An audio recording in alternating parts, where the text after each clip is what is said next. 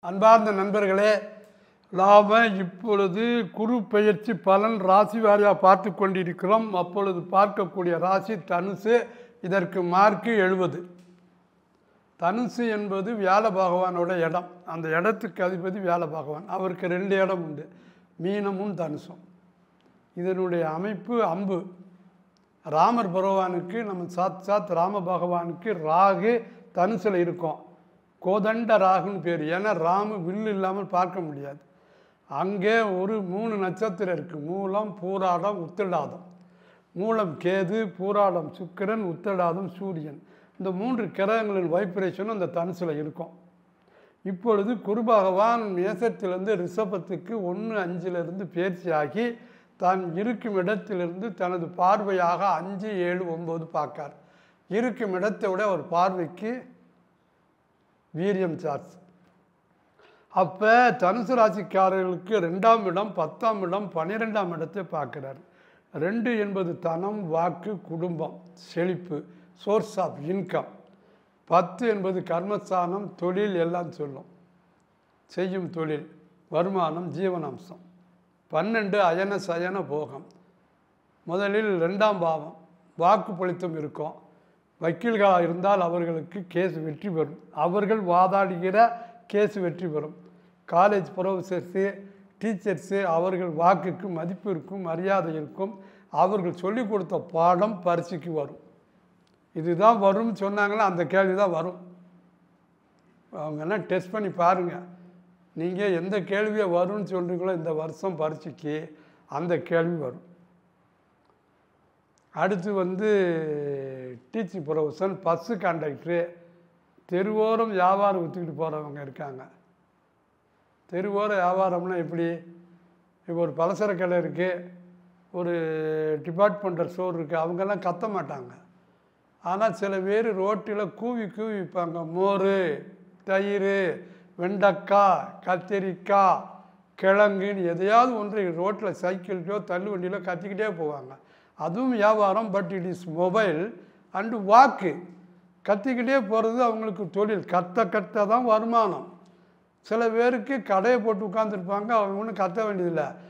வெள்ளைக்காய் இவ்வளவு நல்லெண்ணெய் இவ்வளவு ரவை இவ்வளவுலாம் எழுதி போட்டிருப்பாங்க அவ்வளோதான் ஸோ வியாபாரத்தை அந்த மாதிரிலாம் இருக்குது அப்போ கூவி விற்கும் அந்த வியாபாரம் நன்றாக இருக்கும். ஏன் சொல்கிறேன் அப்படின்னா பத்தாம் இடத்தையும் குரு பார்க்கார் ரெண்டையும் பார்த்து பத்தாம் இடத்தையும் பார்ப்பதுனாலே ரெண்டுக்கும் பத்துக்கும் லிங்கு கிடைக்கும். ஸோ இரண்டின் மூலமாக ஜீவனாத்வா அந்த பத்தாவது சாரம் வளம் பெறும். தொழில் ரொம்ப நல்லா இருக்கும். அந்த மாதிரி தொழில் பிஸ்னஸ் பூராமே டாப்பாக இருக்கும்.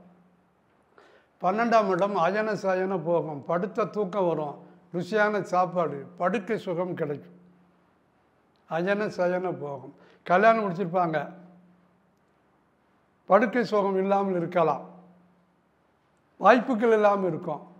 ஒரு வேளை டிரான்ஸ்ஃபர் ஆகிருப்பார் பத்து நாளைக்கு ஒருக்க வருவார். படுக்கை சுகம் அவ்வளவு பிரியமாக கிடைக்கிறதுக்கு வாய்ப்பு இல்லை. அப்போ இவர்களுக்கு அந்த கிடைக்கணும் என்பதற்காக ஒரு டெப்டேஷனோ ஒரு ஒரு அர்க்கு அண்டர்டேக்கிங்களோ அந்த ஊரில் அந்த வாய்ப்பு கிடைக்கிற மாதிரி கிடைக்கும். இது ஒரு சுட்சமான பாயிண்ட்டு உங்களுக்கு டிரான்ஸ்ஃபர் ஆர்டர் போடாமலே ஒரு வருஷம் உங்களுக்கு டூட்டியா? இப்போ பாருங்களேன் ஒர்க் அட் ஹோம்னு சொல்லியிருக்காங்க. எத்தனை பேர் பார்க்காங்க? இன்னும் நிறைய பேர் ஒர்க் அட் ஹோம் பார்க்காங்க. அப்படின்னா என்ன அர்த்தம்? கல்யாணம் முடித்த தம்பதியர்களாக இருந்தால் அவர்களுக்கு படுக்கை சுகம் கிடைச்சிருக்கு. ஒருத்தர் மதுரையில் இருப்பார் மெட்ராஸில் ஒர்க் இது கார்பரேட் கம்பெனி வேலை பார்ப்பார். ரெண்டு வாரத்துக்கு ஒருக்க வந்து போய்கிட்டு இருப்பார். இப்போ ஒர்க் அட் ஹோம்னு மதுரையில் கொடுத்தாச்சுன்னா படுக்கை சுகம் கிடைக்குதுன்னு அர்த்தம். ஸோ அந்த பன்னெண்டாம் இடம் இப்பொழுது குரு பார்ப்பதுனால படுக்கை சுகம் கிடைக்கும். ஏன் அப்படின்னா அதன் மூலமாக குழந்தை பாக்கியம் கிடைக்கும் ஏன்னால் குழந்தை என்பது மனித முயற்சியும் தெய்வ அருளும்.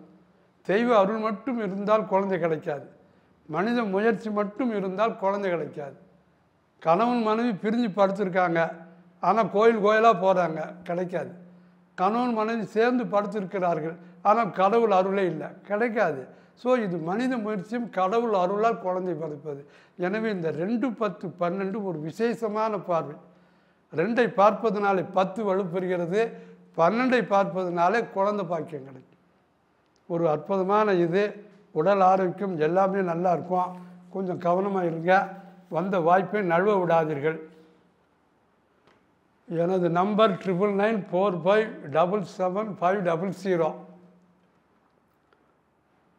மருத்துவம் சோதிடம் எனது தொழில்.